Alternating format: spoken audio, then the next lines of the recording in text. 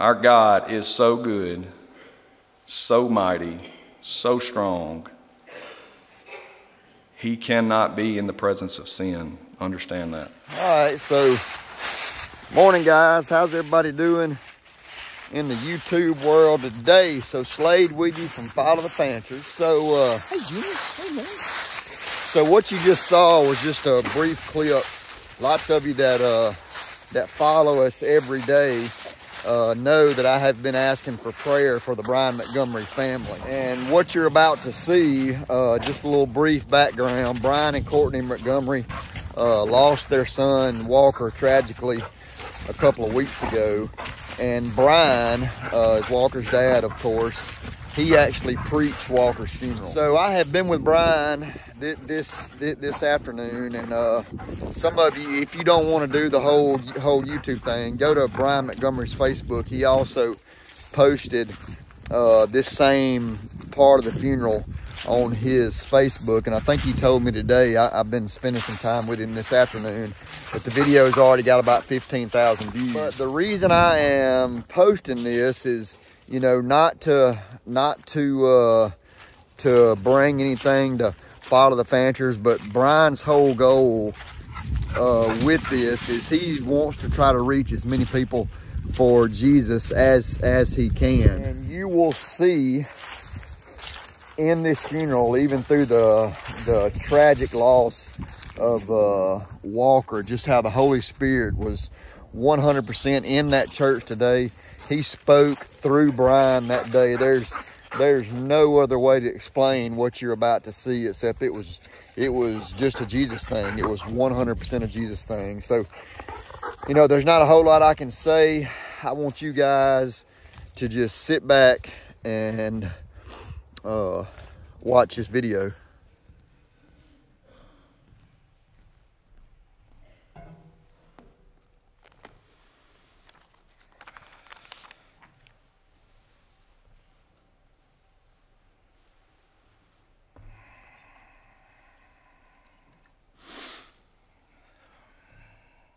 Going to start this with prayer, and we're going to end it with prayer. I want you guys to be prepared for something here that's not traditional, not normal. It's going to be the best funeral you've ever been to. Let's pray.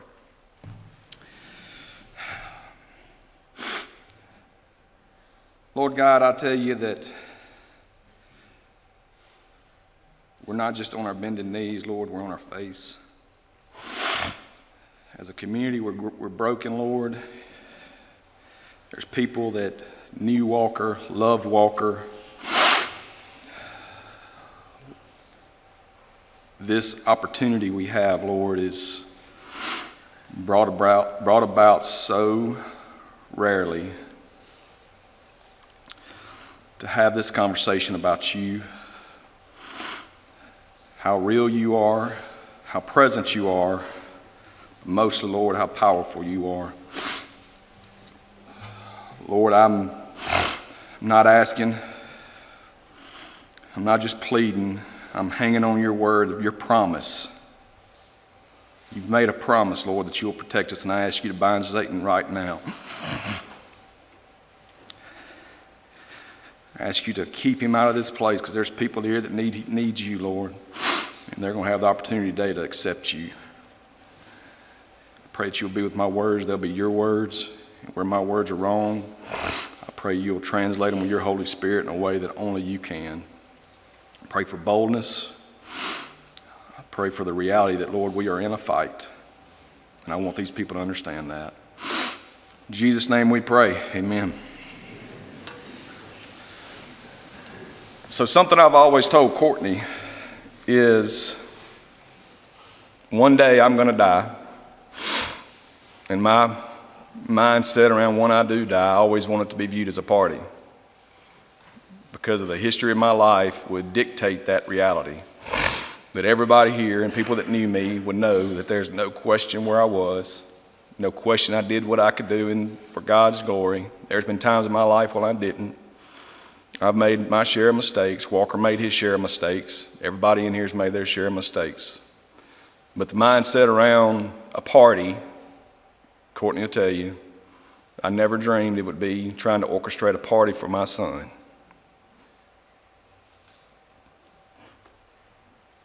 Anybody in a hurry? Is it okay if I take my time? Yeah, I know you'd feel that way.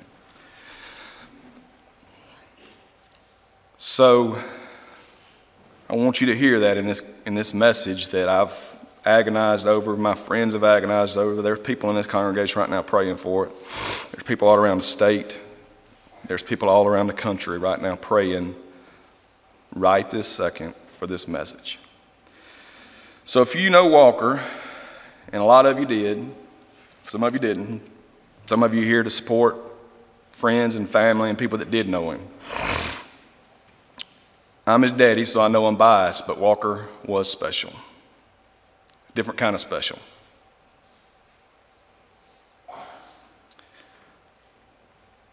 He had a work ethic like no other. He loved each, he loved people. You read the obituary, all that's absolutely true. I can't make it any prettier than that, Christy Brown. Wherever you're at. Um, but the vision I want you to see today of Walker, if you were ever at a football game, no matter where in his career as a football player, you saw, if you ever saw him on the sideline, I'm not talking about when he's out there playing because we know he gave it everything he had. Don't we, boys? I'm talking about when he was on that sideline. When he wasn't in the game, he was as close to being in the game as he could be. He was pulling for you, he was paying attention, he was tuned in 1,000%. And wherever the coach that was responsible for his in or out was, Walker was right behind him. Because he wanted to be noticed, he wanted to be there. And I can tell you that that was not taught, that was not told, that was not just say, hey, Walker, stay there. That was Walker recognizing that somebody was right there with him that needed to put him in, he wanted to be in. But when he was on that sideline, he was pulling for his team. So I want you, as we talk through this, I want you to recognize that's who Walker was. He's pulling for you. If you're in this building right now and you don't know the Lord Jesus Christ, and there's people here God's told me this, I know this. There's people here, you may have been in church your whole life, there's people here who do not know Jesus. Walker's pulling for you. He's walking down the sideline with Jesus right now. Said, Don't walk out of this building. What I want to tell you right now is that there's no secret what happened to Walker. We're not avoiding that. We're not walking away from it. I want you to know this is not of God. It's a sin. It's satanic sin, 100%. If you believe the devil's not true, that's where he wants you. He attacked Walker. Why did he attack Walker? Walker's a good kid. We know what he was. We know who he was. We know his heart. Why Walker? I can tell you why Walker. Because why Walker was the best. Period, full stop. And I'm his daddy. If you knew him, you know that. He was the best among our family, great brother, great son. Loved his mama. Mama loved him more than you can imagine. But I want you to hear that Satan attacks those families that can make a difference for him, make a difference for God and that have the ability to affect the kingdom. That's every family in this building. It's just a question if you're in the fight or not. And I'm convinced, and I believe you're convinced, that God is using Walker right now. There's going to be a temptation in this community for somebody to say this is somebody's fault. It's going to be a temptation in this community to say all kinds of things. There's a lot of things we don't know right now about what led to this with Walker. We know it don't make sense. That's going to be a temptation that I'm telling you is coming straight from the devil. If you're directing that at anybody but Satan, you're wrong. You're wrong. Let's repent of that if you're doing that.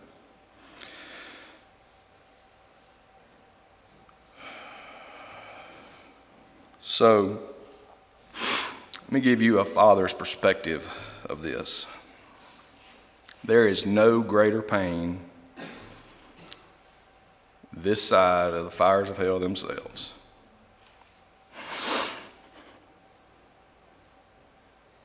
No greater pain. I'm telling you that not because I want you to feel sorry for me, because I want you to know that God is fixing that in me, in our family. I want you to know that I can't fix it. I am not up here. My voice is not coming out of this body. God is working in me to do this. 100%. Not 99, 100%. So I'm going to read you some, some scripture. Psalms 41 through 3 said, I waited patiently for you, the Lord, and he inclined me and heard my cry. He's heard our cry loud and clear. He brought me up out of the pit of destruction, out of the miry clay, and set my feet on solid rock, making my footsteps firm. You ever been in gumbo, Terry Grissom? You know what that feels like. Gumbo's hard to pull. Get it on your boots, can't hardly move. He put us on concrete.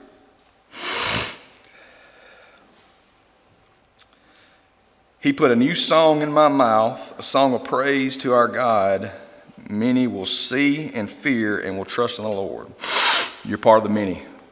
I don't want you to hear anything else. Many will see and fear and will trust in the Lord.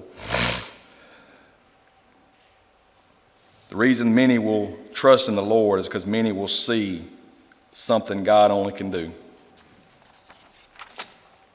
Matthew 11, 28 through 30. Come to me, all you who are weary and heavy laden, and I will give you rest. Take upon my yoke, take upon you and learn from me. For I am gentle and humble in heart, and you will find rest for your souls. My yoke is easy and my burden is light. I want you to understand how that happens. It's not a, just a voice you get at night, and it's not just a feeling you get after Mexican food. That's the people in your life. It's people in our life. We've seen it so clearly.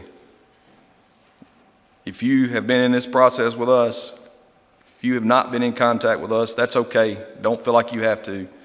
If you've gotten just a little bit of time and not a lot of time, that's okay. I'm telling you, thank you. I'm telling you, thank you for listening to God and letting Him use you.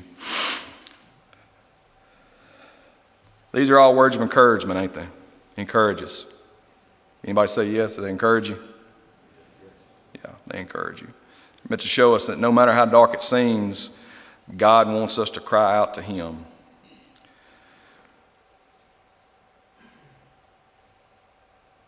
So we've always heard the most we've always heard the most commonly cited verse probably in scripture, especially in the South, is John 3:16. For God so loved the world that he gave his only begotten Son, that whosoever believes in him shall not perish but have everlasting life. We can recite that in our sleep, can't we? Most of us. Have we ever thought about what it says? God gave. I want you to understand this today because, as close as a person can understand this reality, I do today. And I can't fully because I thought about something. God didn't have a son for 30 years or 16 years like I did. He had a, he had a son for eternity. Jesus has always been there. He didn't show up. Jesus has always been part of God. But you know what he did? He took that same pain I have times infinity and voluntarily gave it. Voluntarily gave it to you, gave it to me. People, a people that rejected him, spit on him, crucified him. For those people.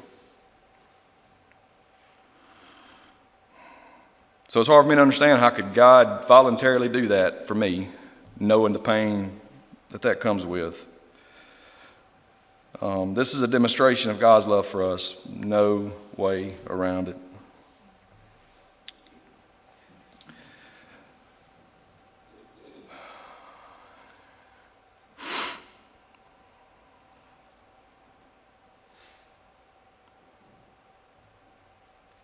So, how can we know? How can we know the God of all time? Not but one way. It's through His Son, Jesus Christ. There's no other way. Can't be good enough. Can't go to enough charities. Can't give enough money.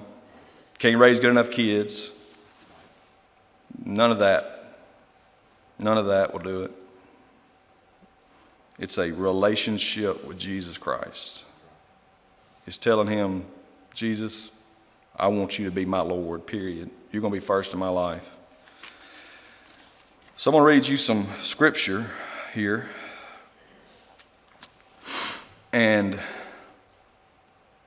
I want you to find in these scriptures um, some things that you may have in your heart that would say, I've been waiting to be saved because you didn't see yourself in the right place. So the first one is Romans 3:23. For all have sinned and fall short of the glory of God. Every one of us. If you've ever told a white lie, anything, if you've never, if you think you had never sinned, Adam passed that sin nature right on to us. You've got it. I've got it. I'm not a bad person, right? I, I just, I'm okay. Romans 6:23 for the wages of sin is death, but the gift of God is eternal life through Christ Jesus our Lord. How does that make sense? Why would death be the penalty? Our God is so good, so mighty, so strong. He cannot be in the presence of sin. Understand that. Somebody else will say, Well, I'm too bad to be saved. I can't be saved. I've done too much. Romans 5 8. God demonstrates his love towards us in, a, in, in that while we were sinners, Christ died for us. You think God didn't know what you were doing? You think God didn't know where you were at? He, you need him more than anybody. And if you can move that belief from a zero to a one, he's going to take you the rest of the way. Romans 10:9, this is the key verse. That if you confess with your mouth Jesus is Lord and believe in your heart that God raised him from the dead, you will be saved. That's pretty plain, ain't it? Will, will be saved. Not might, not we hope you will. You will be saved.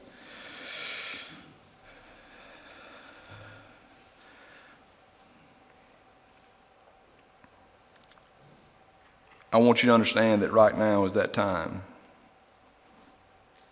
Not in 30 minutes, not next week, not in a month, not in a year.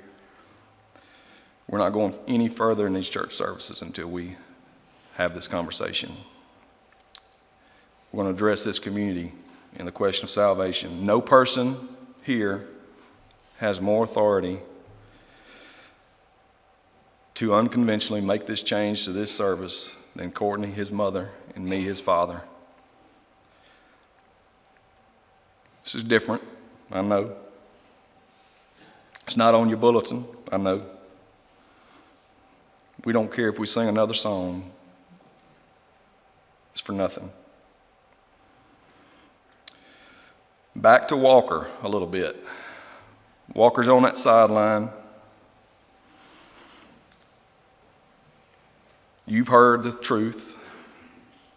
It's 100% truth. He's on that sideline, but now he's got Christ in his corner, and he's got the saints looking down. And they're looking at you saying, Let's go. Come on, it's a fight. This is real. This is big boy talk. He's on that sideline, and he is cheering you on. He's tuned in today. He's pulling for you. We're going to do this together, not next week, not any time in the future. We're going to do this together today. So, this is what's going to happen. I'm going to pray, and I'm asking for your full attention in that prayer, and I'm asking you to search your heart. I need two things. Any men throughout this place, every section of this place, any man here that's willing to stand for Christ on faith. I'm not saying stand figuratively, I'm saying stand literally. and has the knowledge to lead somebody to Christ. We're packed in here because a lot of people love Walker. That's the first group. Be thinking about that. I've been praying about it. God's been talking to you. These are the main group. Those in this place that have never given their heart to Christ. If you've never given your heart to Christ, I want to be real clear. You're directly on your way to hell. I can't put it any straighter. And that's a place you don't want to be. And I can tell you why I know that. Thursday night after we found out about this, you can't go no lower.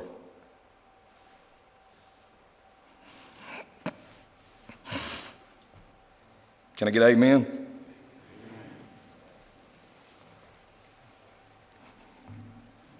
Can't go any lower until you get to that place. And I can tell you right now, you don't want to go there. Not trying to scare you, I'm trying to be sober with you.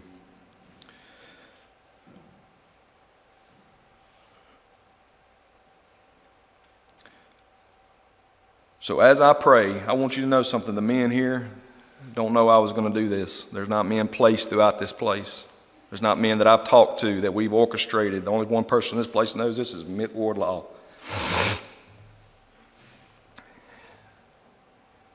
So, God's talking to you right now. If you fit those two criteria, He's asking you to stand when we get done praying. So, after I get done praying, my faith is that there's going to be men standing all over this auditorium. All you've got to do is raise your hand. If you don't have the courage to raise your hand, you elbow your neighbor and let him raise his hand for you. Everybody understand what God's asking us to do this morning? Yes. Everybody? I'm going to pray.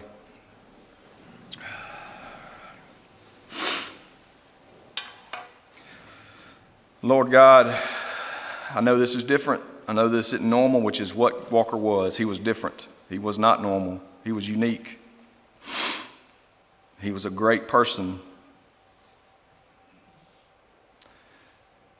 He was something special, Lord. But today we're talking about someone even more special than Walker, than me, than anybody in this building. That's Jesus Christ, the Lord of the world. And Lord, I know there's people right here in this place right now that are scared, confused. That's the definition of lost, Lord. That's what happens when you get lost. I've been there. Lord, I know you know those people. I know you've been preparing their hearts since before this ever happened. You've been preparing this situation since the beginning of time. Nothing surprises you, nothing is unique, Lord. But I want to tell these people through this prayer that this could be a opportunity that they may not get again. This could be the beginning of a revival, not because of Walker, not because of me. I don't know all the circumstances, God, that you have. I don't know how you put this together, but I know that there's enough people that are concerned and loving and wanting to serve you that we can change everything through you. You provide the power, Lord. It's you, all you. So, Lord, I pray for all the lost people. There are lost people in this building. I know it. I pray for the men that are sitting there right now thinking in their mind, is he talking to me? If you're asking that question and you fit those two criteria I laid out, I'm talking to you. Jesus is talking to you. The lost people in this building need you. I know, I know if nobody else, because I have confirmed this 100%, if it's nobody but me and Mitt Wardlaw standing up, we're going to walk through this building, and whoever wants to be saved is going to be before we take another step in this service.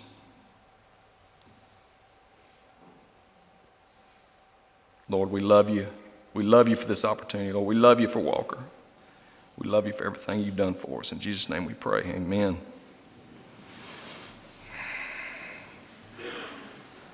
Andy, can we get some music, some piano music?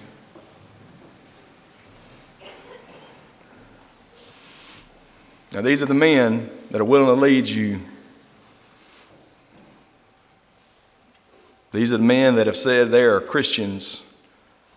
These are the men that said they're willing to stand in faith. These are the men that are saying, We don't want you to die and go to hell. I don't care if it's one of you, I don't care if it's 10 of you, I don't care how many it is. When this music starts, I want to see some hands start going up because you're here. You're here, I know you're here. Please.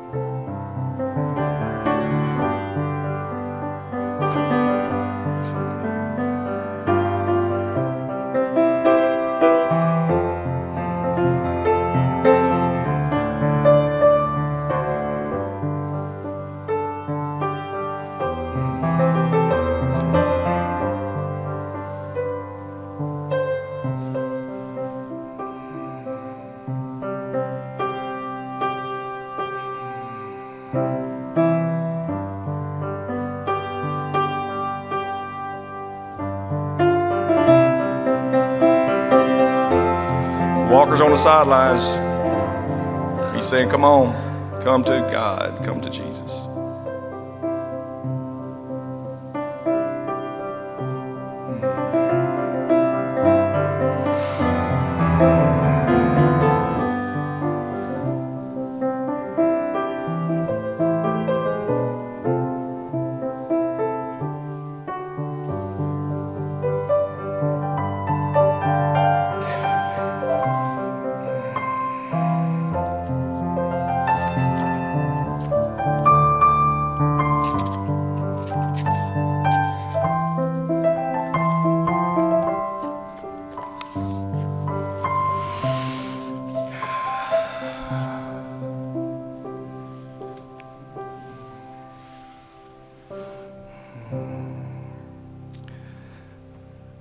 I want you to understand if you're here and you're lost, it's never too late.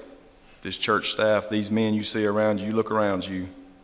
If it don't happen today and you couldn't find the courage to stand up, you look around at these men and you find them. You find them and you let them know that you need Jesus. And I can guarantee you they'll lead you. If you can't find them, you find me. Thank you.